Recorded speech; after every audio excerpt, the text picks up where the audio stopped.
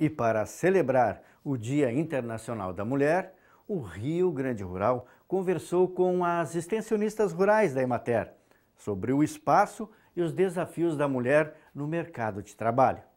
Confira a homenagem prestada pelas profissionais a todas as colegas do Estado que atuam nas mais diversas funções dentro da instituição. Na semana da Expo Direto Cotrijal, também comemorou-se o Dia da Mulher.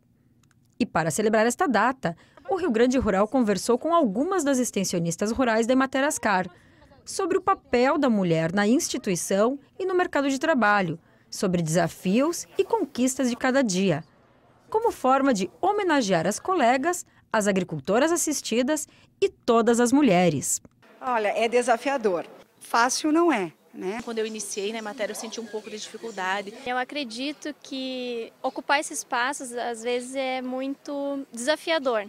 No começo tem um pouco de dificuldade. Por ser mulher, tu precisa mostrar né, o teu valor, a tua capacidade profissional. Em algumas situações a gente ainda passa né, por, essa, por essa questão de ter que provar né, que pode, que sabe, né, que, que tem certeza do que está falando, indicando. Eu acredito que não existe uma discriminação. Na verdade, são pessoas né, tanto dentro da instituição quanto fora, que olham a mulher ainda como sendo aquela, aquela pessoa que tem que cuidar dentro de casa. Mas a gente vai aos poucos conquistando espaço e mostrando a importância de ser de ter essas atividades dentro da Emater e de fazer essas atividades junto aos nossos assistidos.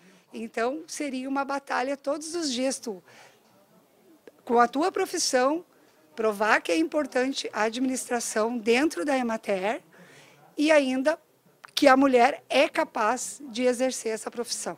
Porque a gente precisa, no dia a dia, fazer um esforço muito maior para provar, às vezes, a competência, o que você tem capacidade para executar o papel que você está ali para fazer, né? Seja na área de engenharia, seja mais na área social, seja mais na área de gestão de pessoas. Então, a mulher, ela, ela é nítido, né, que ainda a gente precisa fazer esse esforço muito maior.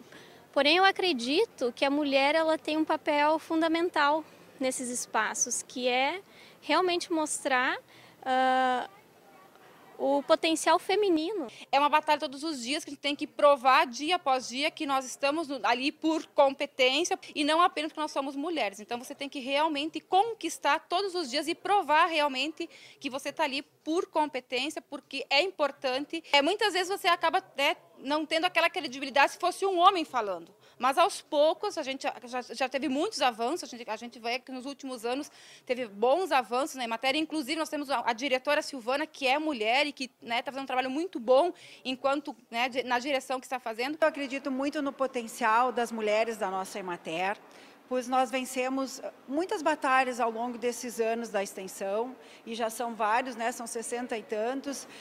Eu acredito assim que depois de todos esses anos trabalhando na Emater, a gente aprendeu que o nosso trabalho é extremamente importante.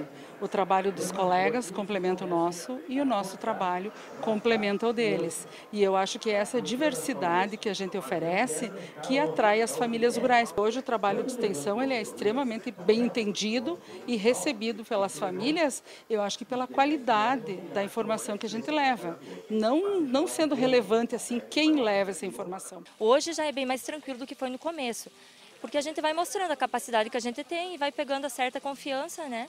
Então, bem tranquilo. Aos poucos você vai conquistando o teu espaço e mostrando a importância que você tem, não por ser mulher, mas por estar numa atividade que é tão importante nas nas entidades e nas organizações do século XXI, que é a parte da gestão. Tive sim que provar, né?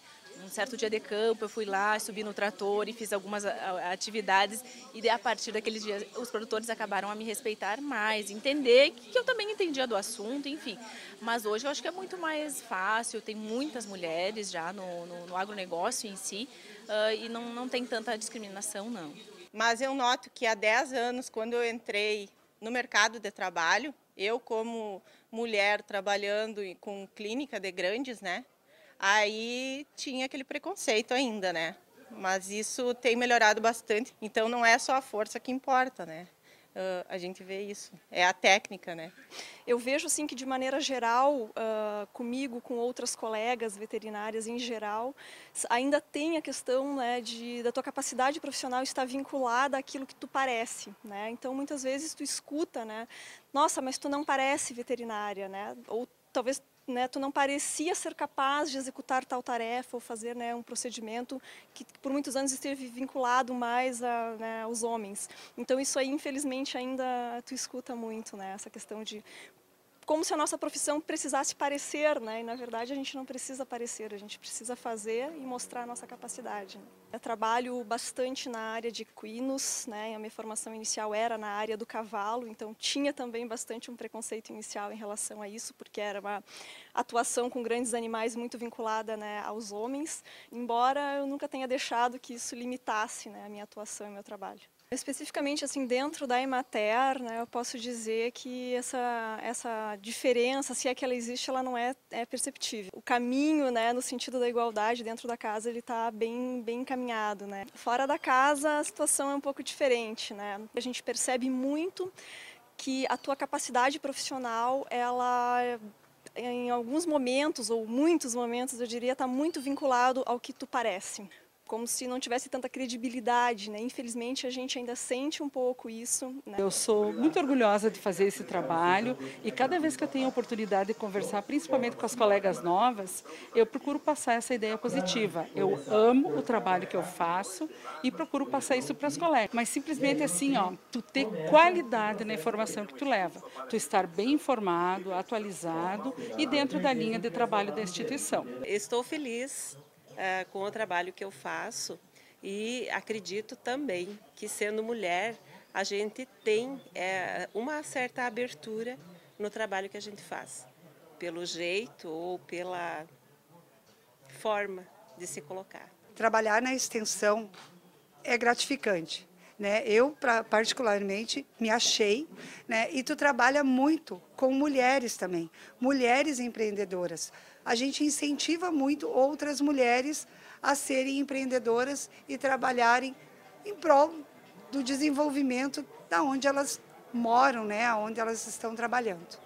É desafiador, sim, mas nós somos protagonistas e, como protagonistas, sim, temos muitos desafios pela frente, mas é ocupando esses espaços que a gente vai mostrar o real uh, potencial, poder feminino, é, o empoderamento ele está realmente no dia a dia, né? Você enfrentando e mostrando o valor feminino nesses espaços. A mensagem que a gente deixa é assim, é de otimismo, de persistência, de sempre buscar, de batalharmos, de lutarmos, de estarmos unidas, sempre trabalhando em prol de nós conquistarmos cada vez mais o nosso espaço. Dizer para as mulheres que não desistam, que realmente nós temos muito, conquistamos muito, mas temos muito ainda a conquistar nesse espaço, nesse dinâmico e, competitivo mercado do trabalho que é o século XXI. Para os colegas da, da Imater, eu é, deixo assim, uma mensagem também de muita esperança e que ainda as mulheres têm um papel é, a ser desenvolvido dentro da Imater, dentro do trabalho que a gente desenvolve. E para as, é, o, o nosso público, as mulheres, as agricultoras, é sempre é, pensar na importância, na, ter consciência do seu papel dentro da família, dentro da propriedade e dentro da gestão da sua atividade como propriedade produtiva. Eu, eu, desejo a, a, todas que realizem seus sonhos, por mais for uma, uma profissão que seja muito masculinizada, que não, não, não tenha isso em mente, que tenha assim, o conhecimento que, que você, no que você quer trabalhar, que hoje em dia é, é muito mais acessível, tem muita mulher no mercado de trabalho, né? Não desistam de qualquer sonho, né? E nunca tolerem assim uh, ofensas e até agressões né?